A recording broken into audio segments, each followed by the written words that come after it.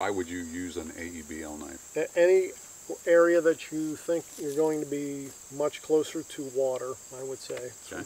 Yeah. Rust resistance is way over what the other ones are, I'd say. Mm-hmm. The way I kind of see it is AEBL is almost like the D2 of stainlesses in some ways because you know it was originally Like it. designed as a razor blade steel. It was like actually designed for that purpose. Right. Yeah.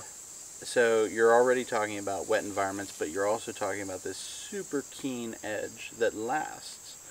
So if you know, the, they kind of compare a little bit, not you know, not one to one, but close, where you really get that super fine screaming edge, Right. and you don't have to worry about rust so much. This is the sharpest stainless that I've worked with. We've, we've used a few different things, the Sandvik stuff, the whatnot. And I- I'd say it's a I- little bit more than 12C. I say this is uh, top shelf on the stainless. And this particular one, well, any of the AEBL knives, L stamp, just so you know. This is the large Northern Hunter. This is a fantastic knife. and this Yeah, is overall. a small northern hunter. Ah, yes. So AEBL for me, where it falls in is Awesome. um, I've just recently made a next gen for my kayak boat knife. Because again, There you go. Yep. stain resistant. Water. You know. Uh, The other place I really like is the ki- kitchen products.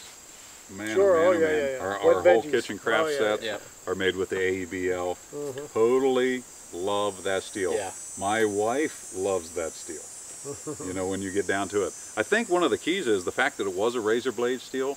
The attri- and this has been around for a long time. Right, I mean, quite right. a long time. And it's Attributes well there are proven that way. fantastic Mhm. for that. Yeah. So I can see like this that. one being in the large northern hunter for a game knife. Mm-hmm. Uh, let's say you're doing maybe an Alaska hunt and you don't plan on you're going to be out for a week or so. You don't get a chance to take care of your knives, you know, whatever.